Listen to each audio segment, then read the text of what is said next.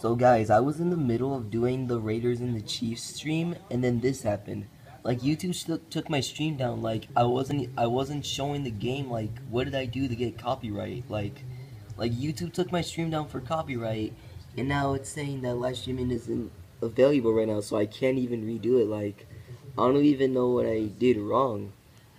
So I so I don't even know what happened. Like I apologize that my stream got taken down, but I don't even know why YouTube even did that. Like I wasn't showing the game. I don't even know what I did, which was copyright. So, man, this is kind of disappointing. I don't know. I don't know what happened. This, this is just so weird. So yeah, I apologize to like the people who were about to like enjoy a stream of mine for like the Raiders and the Chiefs, but then this happened because apparently when I was in the middle of doing the Raiders and the Chiefs game, apparently it gives me some sort of copyright and I probably can't even stream for a certain amount of time. Alright. Man, this this this really sucks.